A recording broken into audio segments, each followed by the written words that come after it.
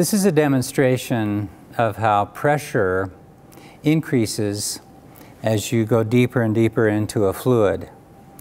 The pressure inside of a fluid is equal to the pressure on the surface plus the density of the fluid, rho, times g, the acceleration of gravity, times the height or the depth into which you're in the fluid.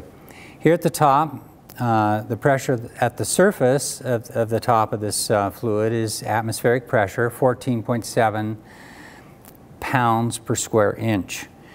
And as you go deeper and deeper, uh, the pressure increases according to the formula that I just described. As you go down to 10 meters of depth, you get um, another atmospheric pressure added on to the atmospheric pressure you had at the surface.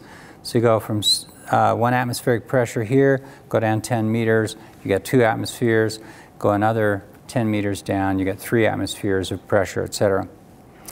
So to demonstrate the different pressures at the different uh, depths in this fluid, I have, um, I'll pull these stoppers out. Um, the, the deeper we go, the higher the pressure and the faster the velocity will come out.